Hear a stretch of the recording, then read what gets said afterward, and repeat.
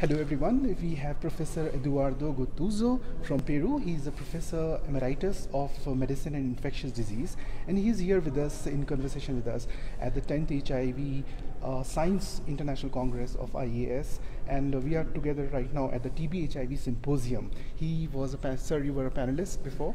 So we would like to know, uh, please share the insights why this TB HIV Symposium is so important and particularly the issue of latent tuberculosis. The, the two problems is, uh, you know, the more important killer in, in the world of infection diseases are tuberculosis. You know that the tuberculosis still kill 10 million people. Uh, 10 million people have tuberculosis every year and 2 million people are dying. From these people who are dying, one important number is the HIV patient, the AIDS patient who have tuberculosis. And also they have tuberculosis in different uh, extrapulmonary tuberculosis, and this is very important to see uh, how we can prevent tuberculosis, how to give an early diagnosis, how to move in to give a proper treatment, especially in TB MDR. And this symposium is very important because the TB MDR, for instance, in my country, in Peru, is one a huge problem because uh, Peru reported a more uh, no, a high number of TBMDR. And it's very important when you see the patient who have the HIV, uh, they have a very poor prognosis. And this symposium can discuss the topic from what is the best treatment from TB MDR, what is the moment we will start, etc. And from that reason, I feel this is important. I will be chair from the session about the preventive, preventive uh, tu- uh, tuberculosis, and this is very important from, from everybody.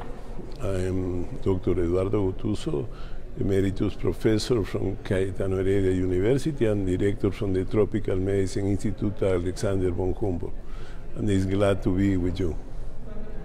Thank you, Professor Eduardo. Can you share some insights? Uh, the latent tuberculosis burden is so huge. It runs in millions and billions, more than a billion people, right?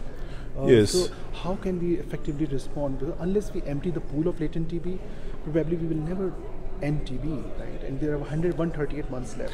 Over Right, right now, the people try to see we need to end TB in the next uh, 20 years. I'm glad that because that is an important economical support to try to found this. But remember, tuberculosis is the more important killer in infection disease.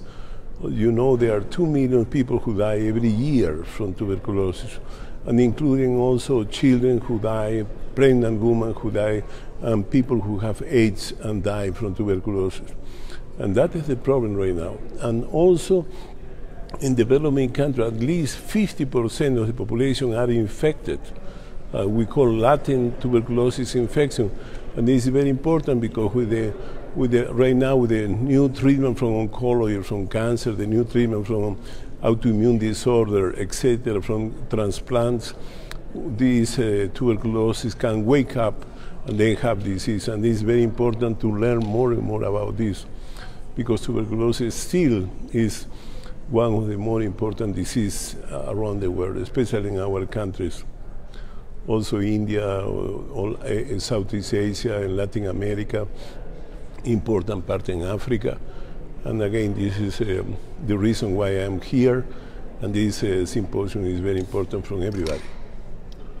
Thank you so much, uh, Professor Eduardo Gotuzzo, for Thank you. sharing your insights. We Thank have you Professor very much. Eduardo Gotuzzo, who is a senior infectious disease and medicine expert from Peru, here to at 10th IS conference on HIV science. And right now we are at the TB symposium, which is focusing on latent tuberculosis. Thank you so much, sir. Thanks Thank you very much. You. I'm glad Thank that. you.